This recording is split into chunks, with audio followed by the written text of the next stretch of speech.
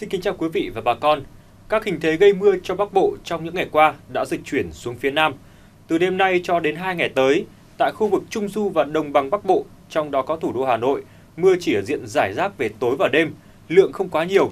Riêng khu vực vùng núi Việt Bắc và Đông Bắc vẫn cục bộ có điểm mưa vừa, mưa to, ban ngày có nắng và nhiệt độ tăng dần. Thưa bà con, trong giai đoạn chuyển mùa, thời tiết thay đổi đột ngột dễ làm cho cá nuôi bị stress, tác nhân gây bệnh có điều kiện phát triển và xâm nhập vào vật nuôi.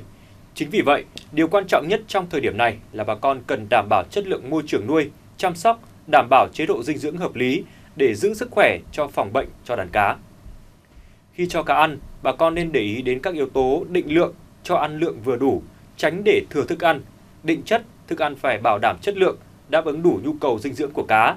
Định vị, cho ăn ở nhiều vị trí cố định khác nhau để tất cả cá được ăn thức ăn, tránh xây sát, va đập lẫn nhau. Định thời gian, cho ăn theo thời gian nhất định, có thể cho ăn nhiều lần trong ngày nhưng phải có mốc thời gian cho ăn cụ thể để đảm bảo cho cá khỏe mạnh, hạn chế nhiễm bệnh. Trở lại với các thông tin thời tiết, hiện tại rãnh thấp có trục Tây Bắc Đông Nam đã dịch chuyển xuống phía Nam và có trục đi qua khu vực Nam Trung Bộ.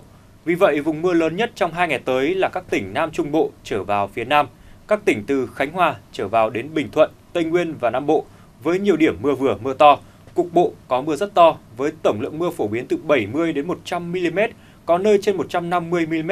Mưa rông tập trung vào chiều và tối.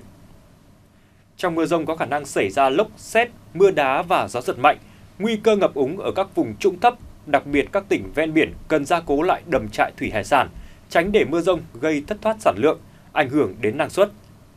Khép lại bản tin hôm nay là dự báo nhiệt độ các khu vực trong đêm nay và ngày mai. Xin chào và hẹn gặp lại bà con trong các bản tin thời tiết tiếp theo.